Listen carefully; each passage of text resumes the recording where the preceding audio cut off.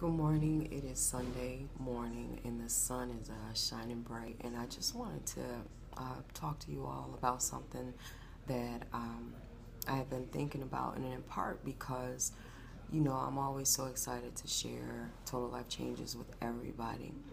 But I realize that sometimes you have to stay active, but you have to just be still and let God send to you the people that should you should be partnering up with as far as your business. So it's no secret that I have several different uh, business partners that live all across the country, but where I live here in Raleigh, North Carolina, I had not had a personal business partner, but I met someone that I feel that God said to me. When I shared our products she was instantly excited. She basically was like, Can I get the tea now? So she purchased some tea for me, and then I learned that she was in um, Mary Kay for over 20 years. And what she said to me is, Can you tell me how I can get some residual income?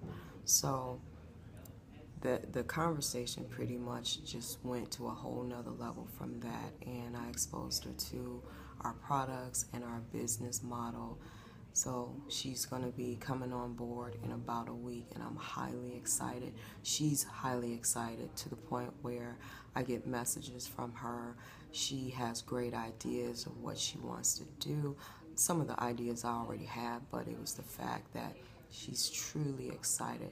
So I'm only just sharing that sometimes we have to stay active, be still, keep working our business and God will send us the people that we really need to partner up with that's truly motivated because she says you all have an amazing product. I kind of knew about it before but my connection with that person was not how it was with you. So I'm so glad we met. I'm so glad we met as well. So just wanted to share that. You guys have an amazing Sunday and continue on your personal financial, and your health journey. All right, goodbye.